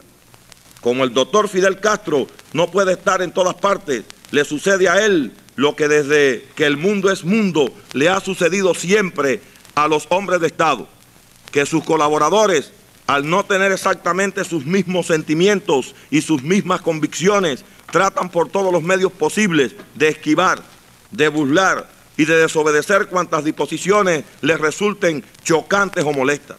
Y no hay que decir que la cuestión racial, eso de hacerle justicia al negro, de sacarlo de lo propio en que lo tienen sumido, le ha resultado chocante y molesto a muchos, que da la casualidad que tienen poder para no emplearlos, aumentando así el hambre y la miseria en los cubanos de piel oscura. Uh, it's really interesting because this particular uh, uh, speech of uh, uh, Juan Betancourt, where he's talking earlier, he says, de oprobio en que están sumidos. He's basically quoting the national anthem of Cuba. But I think I want to kind of focus on this idea of the more hunger and misery and how this then becomes um, the reality, you know, that, that we see. I think in a sense his warning is something that then becomes a reality over time. But in contrast to, or in contrast or as a follow-up to what, what, what Nevetancourt is talking about, I want to present to you the beginning, the, the, another example of this conversation, particularly that of you know how the poetics of, of protest in Cuba began with um, Nicolás Guillen's uh, poem Tengo. Tengo, vamos a ver, que siendo un negro nadie me puede detener a la puerta de un dancing o de un bar, o bien en la carpeta de un hotel gritarme que no hay pieza, una mínima pieza y no una pieza colosal, una pequeña pieza donde yo pueda descansar. I think it's what what I would like to point out here is like the dates when this is happening, right? Like we had Walter Nevetancourt in 1959, and then five years later, in you know, in 1964, Guillen writes this poem, and how the, the, this topic uh, of Tengo of I have becomes uh, or is, is revisited by by rappers then later on. Uh, my next example is how in in 19 in 2001 Afro-Cuban rap duo Hermanos de Causa revisits uh, Guillen's Tengo and what they say based on what he had said already in 1964. Pasan los años y la situación prosigue intacta. El tiempo no perdona. Pregúntale a La Habana, que ahorita está en la lona. Nadie le importa nada. Tengo una raza oscura y discriminada Tengo una jornada que me exige y no da nada. Tengo tantas cosas que no puedo ni tocarlas. Tengo instalaciones que no puedo ni pisarlas. Tengo libertad entre un paréntesis de hierro. Tengo tantos derechos sin provechos que me encierro. Tengo lo que tengo sin tener lo que he tenido. Tienes que reflexionar y asimilar el contenido. Yeah, so we we start seeing a recurrence of, of this idea of you know the state or power someone's not listening and this continues to be a theme right and, and throughout this conversation of of specifically coming from the, the sectors of the blacks of blacks and afro-cubans in in in, in the cuba in, in, in cuba um, my next example is then um, Tengo revisited again in in a new or a, a sort of um, how do I explain what reparto is? So reparto is basically part of the the the the, the say the, the, cultures of rap cubano uh, or or Cuban rap or Afro-Cuban rap, but it, it is a is a rhythmic evolution from the, the the boom bap sound of you know the 2000s and late late 1990s, and now this is more of a creolized or creole creolización de rap um, to follow up on the, the pulse of Cuba, which is more like clave and more dance based. So I think it's really interesting because the theme here is not only a, a theme that has to do with Tengo, but it's also an, an addressing uh, the body as well. This is basically dance music. And um, I think it's quite interesting how they, they what they say and how Tengo continues to be a theme, but then how it was uh, uh, uh, say connected to what people have today is quite different. Yo recuerdo, yo era un niña, mis cosas te. Yo no podía, porque no tenía. Pero yo soy bueno y no se. Yo me como Ahora tengo Louis Vuitton, tengo. Ya, tengo no sé cuántos no sé cuántas ropa cara. Por eso tengo, por eso tengo. Tremenda pista, tremenda guay. Por eso tengo, por eso tengo Tengo de todo, soy un personaje. Por eso tengo, tengo copy. En la noche no me regalado. Por eso tengo. Es lo más. Con lo que tenía que tener, sí. Tengo lírica, tengo talento. Tengo guay, tengo. Todos ustedes son unos pencos. Tengo de Puma, tengo. Pisa, pisa, no estoy me respeta. Tengo tengo Philip. No estoy respeta. So, so I think that what's really interesting here, uh, you know, uh, alongside this this reference to materialism, it's um, it's that, and obviously that this song is also an address to their peers and their generation of musicians and the people who who they live with, their community, their friend, their friends. I what I find is super interesting here is the conversation with the nation. Uh, it's like this idea of like, you know, we don't need your help anymore because we've been asking. So, you know, this idea that, you know, so far right now, we're no longer going to be looking for your, your authority, your, to, give us what we, what we be ha- have been asking you since, you know, since before 1812. We're just going to take it. So I think this is really interesting questions about, you know, citizenship and autonomy. And uh, again, I'm revisiting ideas that I presented last year, but there's how, you know, like like Devyn Benson says, how we carve spaces for continued debates about racial equality through the music that we produce and and and, and then how reparto, you know, hood music emerged in Havana's working class neighborhoods five years ago. And it has been criticized as vulgar and and and a poor Cuban's reggaeton. This new urban Afro-Cuban rhythm is today's Cuba's most popular dance genre. In this clip, Reparto Duo, Poppy Lamoa revisited Guillen's famous poem Tengo I Have. Uh, Guillen's poem described how in 1964 the revolution, or, the, or how 1959's revolution would resolve the late 1800s promise of, of, of Afro-Cubans' full inclusion into the project of the nation. Yet by 19, you know, in 19, in 2019, Poppy Lamoa's response to the poem was that we have to impose our worldview revisited over several generations of Afro-Cuban uh, urban um, Afro-Cuban artists. Tengo epitomizes, and I'm repeating this idea again, the poetics of our social protest. And then uh, I think that I think it, and I want to. That this is kind of like the, the first part of this presentation. This idea of how the poetics of, of protest have continued and evolving and and and and being creolized by through the music and uh, specifically through uh, through the influence of hip hop in Cuba and Cuban music.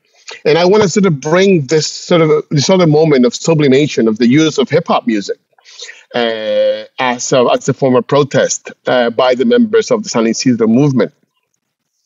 This is actually uh, the reason why this is a, a bit of a at the beginning of a second uh, a, a, part of this presentation is because I think there's a lot that's implied in this video that I will show you.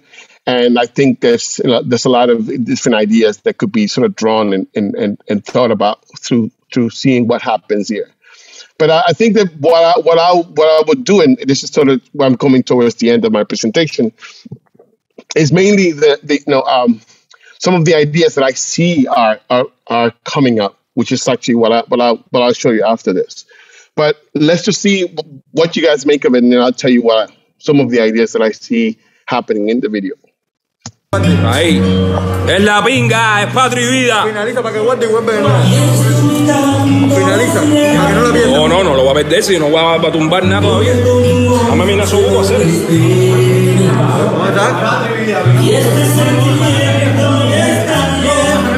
Coño, vamos a meterlo aquí.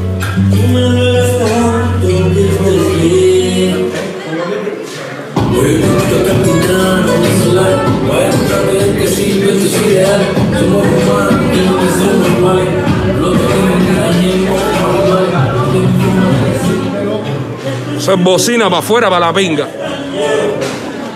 Esto es bocina para afuera.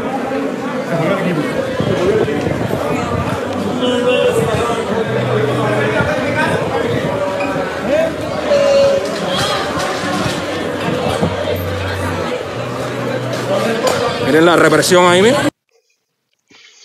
Right. So so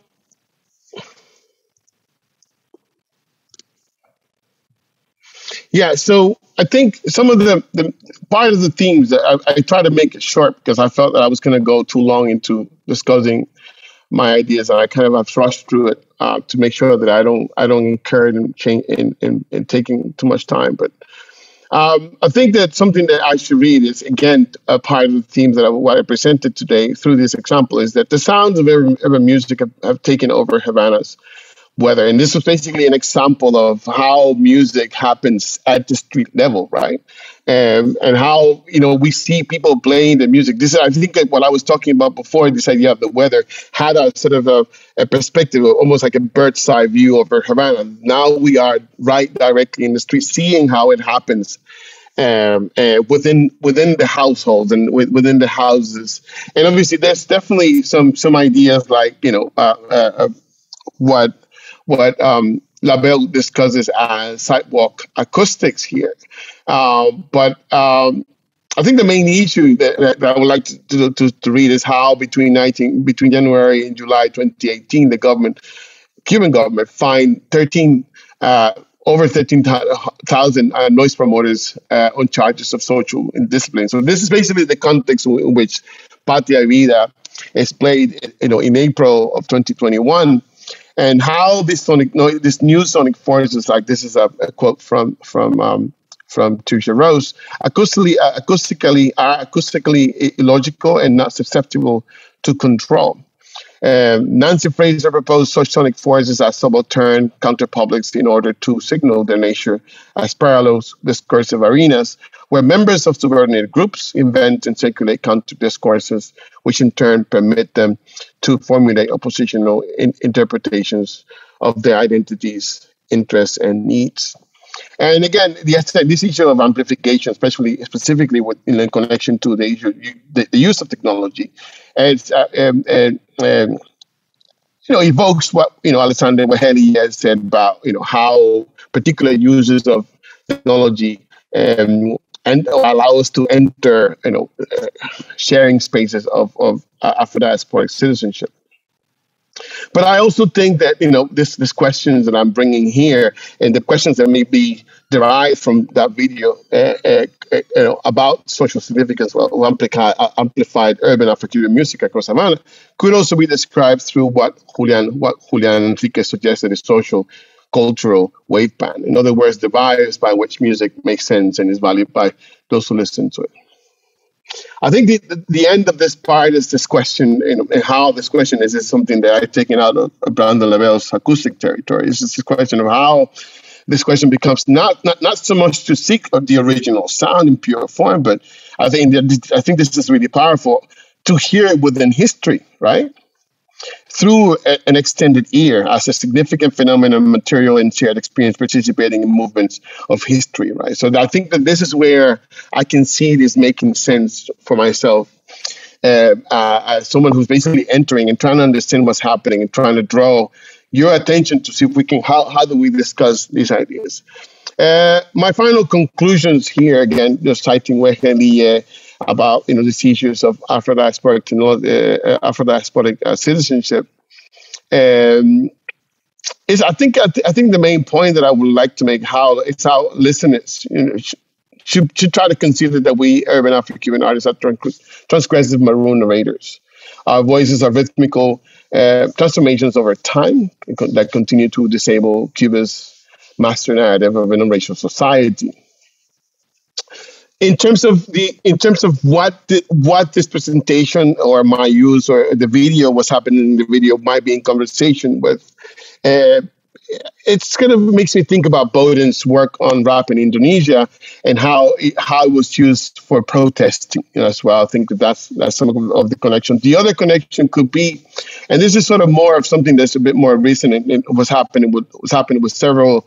Um, Cuban and Latin American scholars who've described, described uh, um, um, you know the San Isidro movement and what they do as a as an Afro-Cuban uh, struggle or as part of the Afro-Cuban struggle, uh, which I think is kind of problematic. What I was started reading here is understanding the recent sounds of protest in this way, and this is what she writes.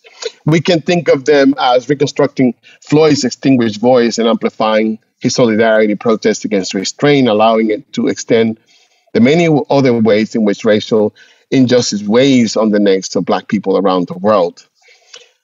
I say that possibly because I, I, mean because I because being Cuban, being from Havana myself, I wonder how could San Isidro movement protest events like the one we saw in the video, and, and the San movement overall be truly associated with Black Afro-Cuban protests if following Cuban domestic colorism logics, their members are not considered Black by Cuban standards and, and the members themselves are not pronounced themselves as representative of an Afro-Cuban struggle.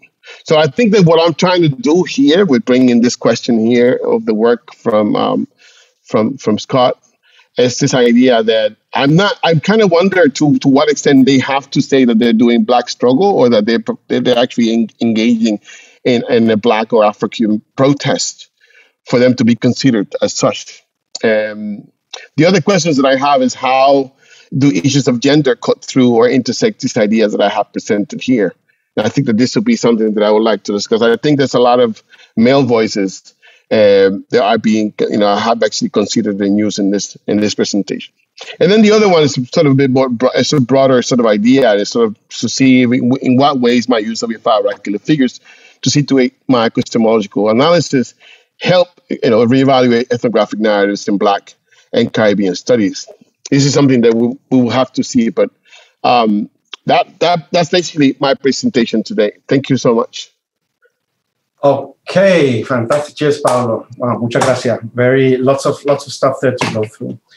Okay, so um, we I calculate that we can go a little bit into the break, and I figure we can have like a 20 minute uh, Q&A uh, session here, maximum 20 minutes. So that this, and then this would give us five minute breaks to stretch and also to transition to the other Zoom account, which is where the, the second panel is going to be.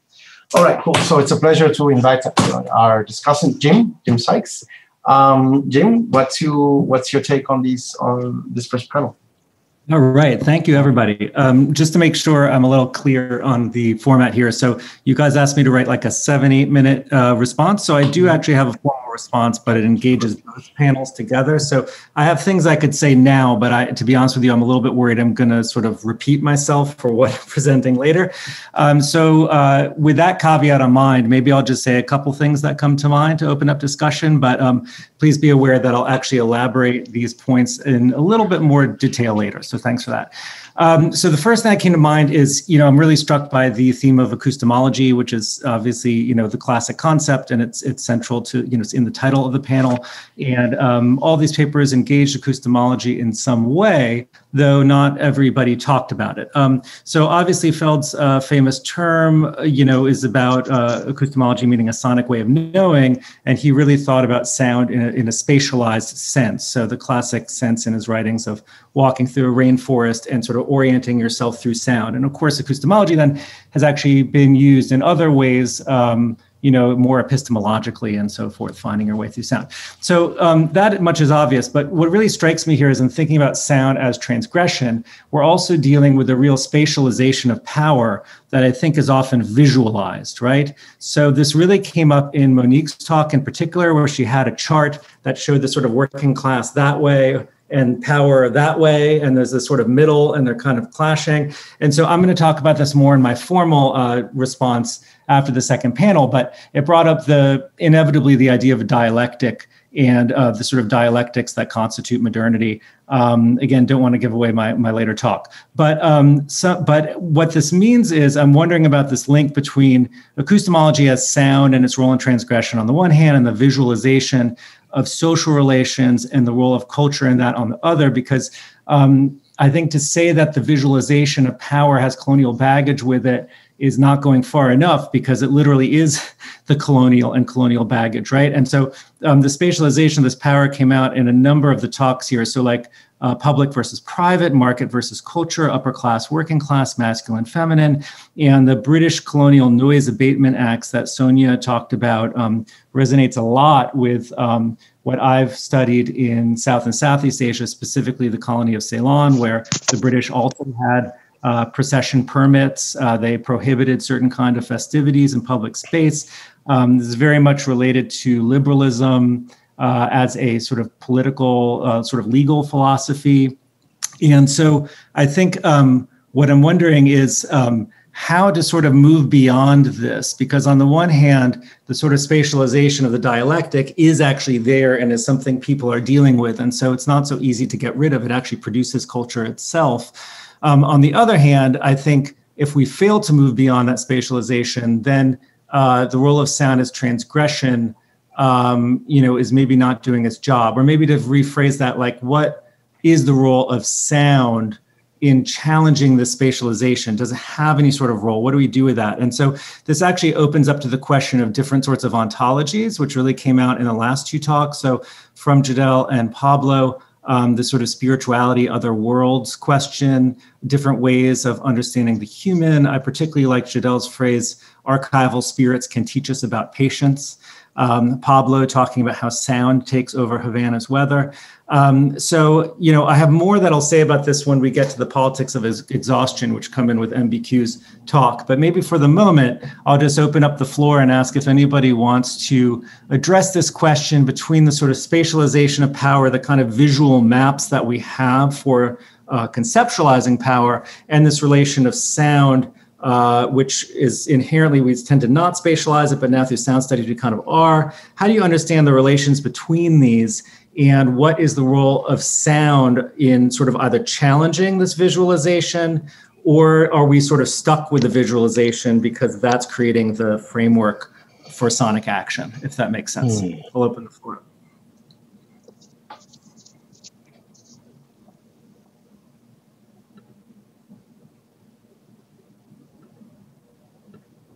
Of course, it's possible that my question was just a little bit too much. Too much. No, no once, we're, we're, processing. Give us a second. hmm. Mm-hmm.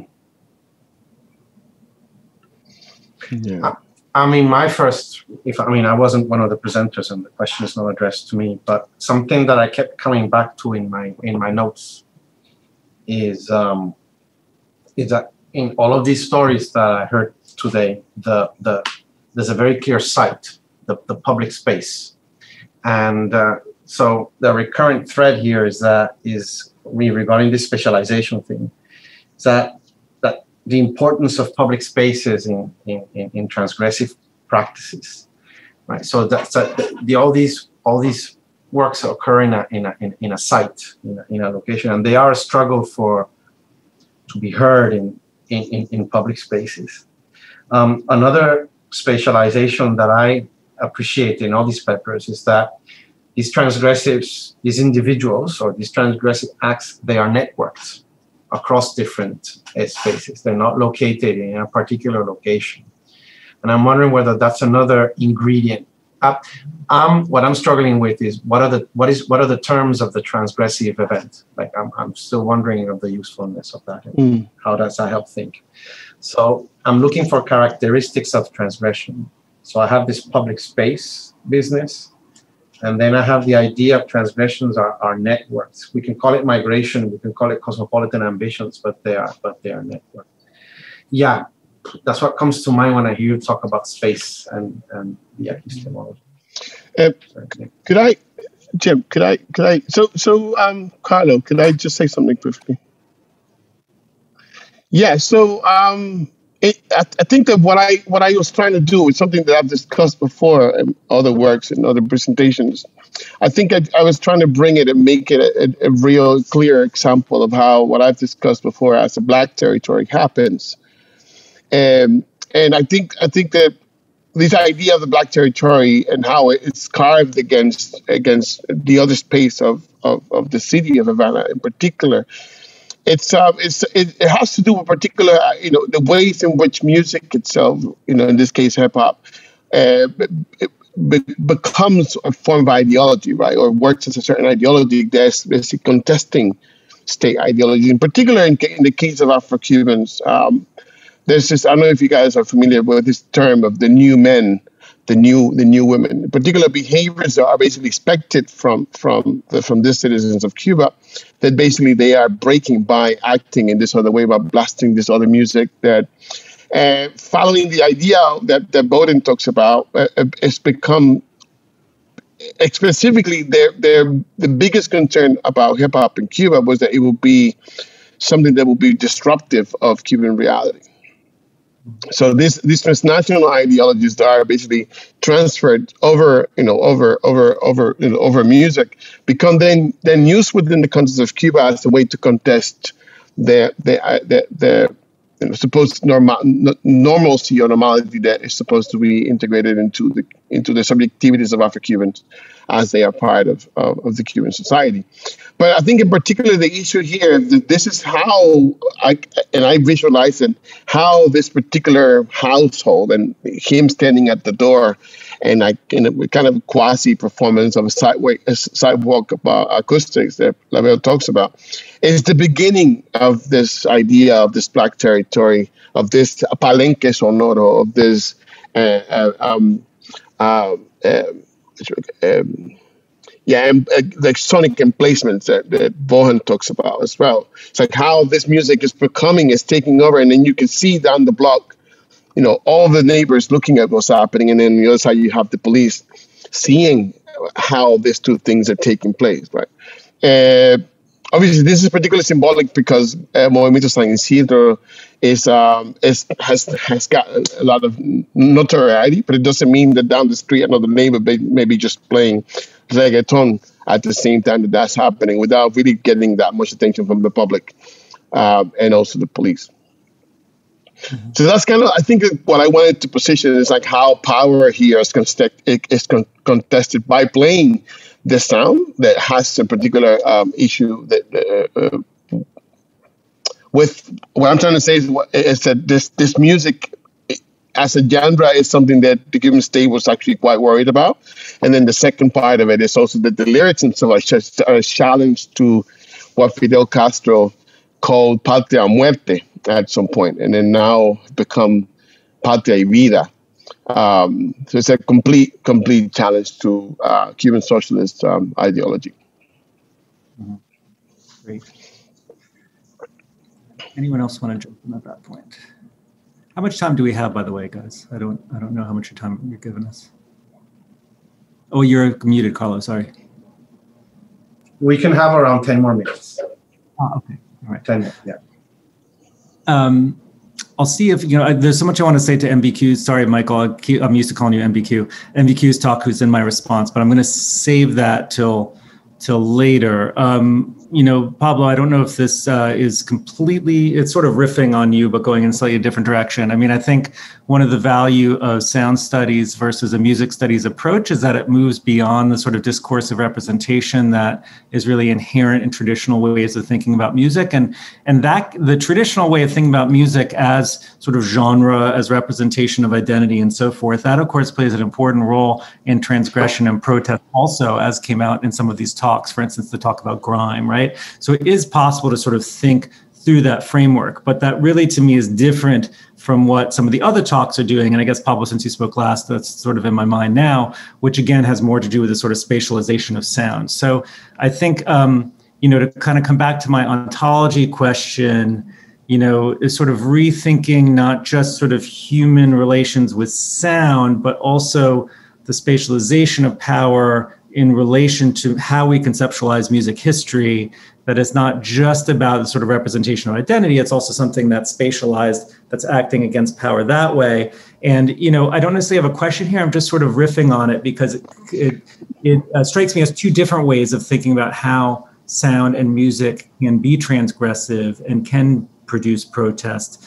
And i'm not sure i've, I've quite wrapped my head around it too much yet. What i've done in some of my earlier work uh, in thinking about Sri Lanka is to actually use this sort of uh, budding discussion of, of ontological difference or alterity to think what would the representation of musical genres in a narrative of cultural history do if we actually took ontological difference and these different ways of thinking about sound, such as spatialization, and actually put them into these narratives of cultural history, that would that be a sort of way of flipping the script, so to speak? So, um, without dwelling on it um, too much, uh, in in my book, for instance, uh, I thought about music as a gift, which was related to Sinhala Buddhist ways of using music in Sri Lanka, and a gift, of course, is about exchange. And so, to think about the gift on the level of the nation, sort of thinks about music not so much about a singular identity, but about relations. So that's just sort of one example. But um, so that that's a lot to to digest there. I'm just sort of riffing, but I see that Michael's got his hand up, so let's go with him. Yeah. Yeah. Sorry, everybody. I just wanted to ask a question. Um, that I mean, it seems to me, uh, Jim, in, in, in when you're talking about spatialization, it seems to me that so many of the talks also deal with a particular kind of way of dealing with memory.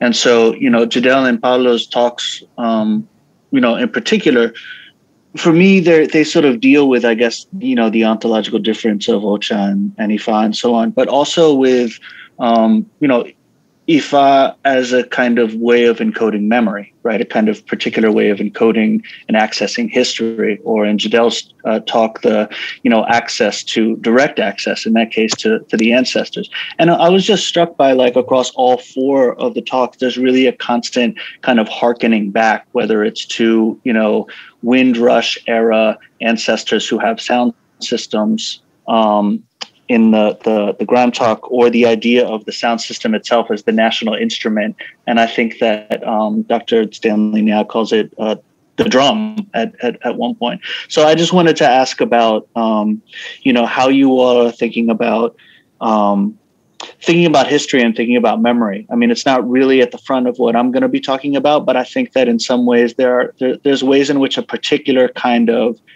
affect um, a particular sort of feeling um, is recycled and brought into the the present moment from uh, you know historical pasts and that sound sort of does that in particular sorts of ways so i, I wanted to ask you folks i was really so struck by um, by the way that you did that mm. Mm. so to make that a specific question how, how do you how do you how do you imagine historicity? How do you imagine the past in, in what you're talking about? Um, Jadele. You... Um, great questions. So much to think about. I'm just trying to scribble away because I'm going to need all of this very soon for my dissertation proposal. but um, historicity, memory. I mean, I think part of what I'm trying to say is um, I'm, trying to trouble the idea of nation and geography, obviously. And part of, I think, what I'm arguing is that um, first and foremost, yeah, we have to have a gender and racial analysis of protest, uh, social activism, uh, performance. And I also want to push back on these ideas of the spiritual, uh, spiritual labor and labor, like again, cigar factory workers and um, the politics, diaspora politics, uh, protesting state violence, all of the, the, the, different forms and iterations that we commonly hear. Uh, for example, here in the States, we have Black Lives Matter, right? But we're, we do not necessarily have these deeper, kind of more nuanced diasporic conversations within like that's one critique we could we could we could rightfully launch with BLM and its discourse and related then is like when we look at the histories of protests, like so many of the other presentations um, got at, I think that we can start to map different genealogies. And so part of what I'm trying to do is push Cosme to the front, not in a delusional way, but in a way where she was friends with Romulo Lachataniere, Nicolas Guillen, who Pablo mentioned. She's I think you could say she's a predecessor to Cuban hip hop in certain ways. Her mm-hmm. poetics, mm-hmm. her, I, mean, I, I, didn't really delve into her body of performance work. Um, but I mean, rhyme, time, meter, again, these things are not particular to a genre. And so, again, resonating with what Jim is saying about sound as opposed to music studies, I think we're making a really nice, nice interventions. But social memory for me, I guess when when we start to then place a gender and a racial analysis at the forefront and we start to break down right the idea of nation and what it is or what it does or what it doesn't do. In the case of because it erases right all of these migrants who leave. And again i couldn't map in my presentation but you have really complicated things where you have my, a grandmother and this is caribbean stuff too but you might have a grandmother who's in key west and someone else in New York and someone else in Santiago. And so th- when we start to really map these geographies, when we start to look and center people like Cosme, what we see is something more sophisticated than th- what we've told, I think, mm. and it's specifically in terms of memory. So I don't, for me, what I'm grappling with is like, what is the difference between the club, you know, taking minutes, right, and doing all their meetings in Spanish in the United States, whether in Tampa or New York, to make a vote uh, against uh, will we